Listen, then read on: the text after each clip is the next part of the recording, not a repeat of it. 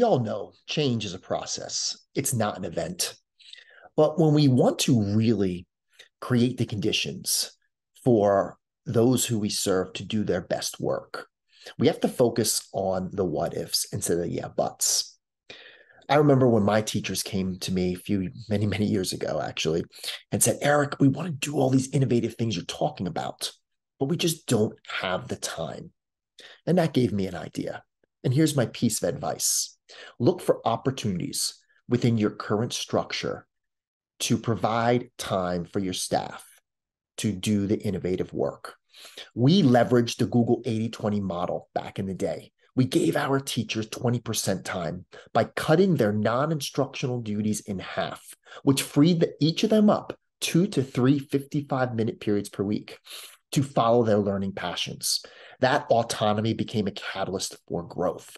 And we also had them create portfolios so we can see the amazing things that they were doing and use that evidence to scale all the great things that our teachers were doing.